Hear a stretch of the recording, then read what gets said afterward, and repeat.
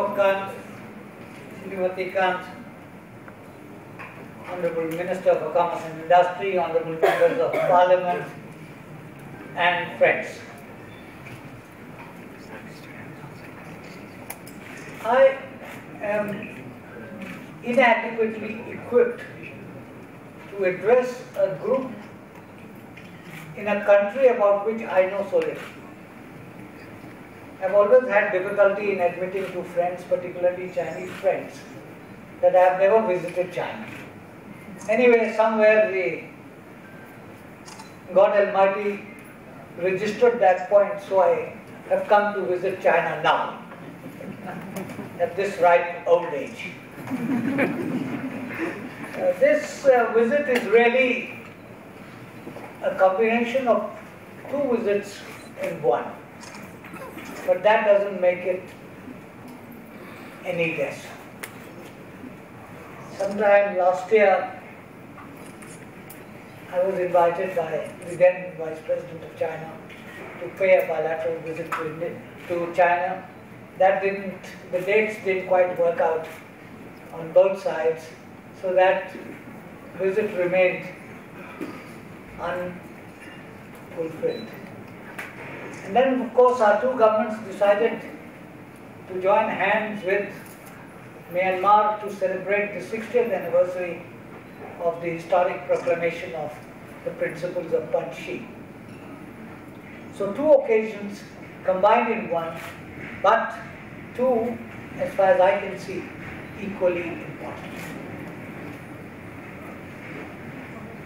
I am delighted to hear from Ambassador Khan that the number of the Indian community here has gone up from a few hundred to 40,000 or more. Now this is something that uh, my wife and I have experienced in different corners of the world in the course of our travels. In far off, there is no place where you would not find an Indian community, a purposeful Indian community, a successful Indian community, a community which is contributing both to the functioning of the local societies and to its relations with India. And this is not surprising because every seventh person in the world, if I am right, happens to be an Indian. So from New Zealand to the west coast of the United States, from the points nearest the South Pole to the points nearest the North Pole and every spot in between, there would be an Indian and an Indian who is doing good to the local communities and therefore upholding the name of India.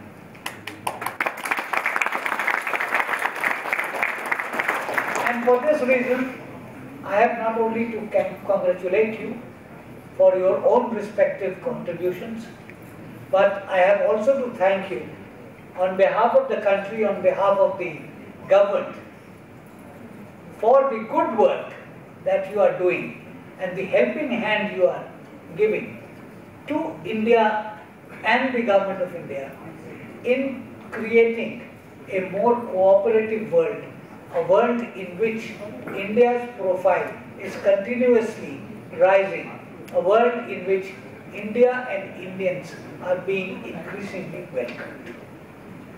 I am very confident that, and I say this without knowing enough about you, but I understand from Ambassador that uh, over 50 Indian companies are already working in China 10,000 students, a community of 40,000.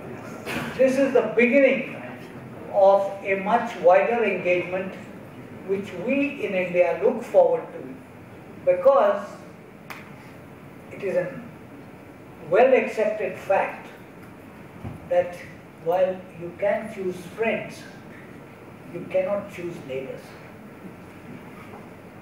China and India are neighbors have been neighbors since the beginning of time.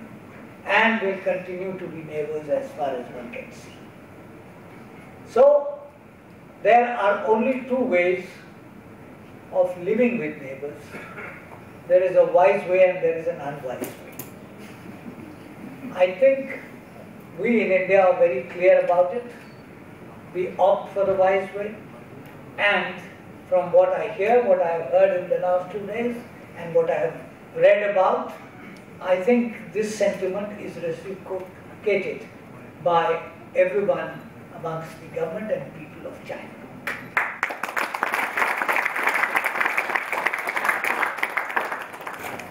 We have an old relationship. We have a civilizational link. We are not strangers in each other's societies. This is the strongest point that we have. We have contributed to it from both sides. Great servants, travelers, monks have traveled across high mountains to bring messages which are messages of wisdom, peace.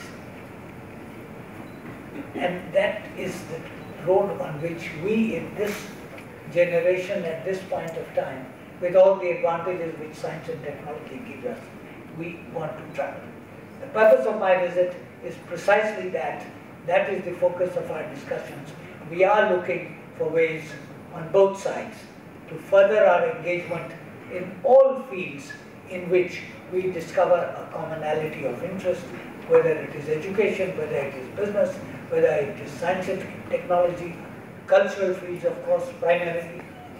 So I think with your help, we will succeed, and I wish you all a very, very happy stay here. Thank you very much.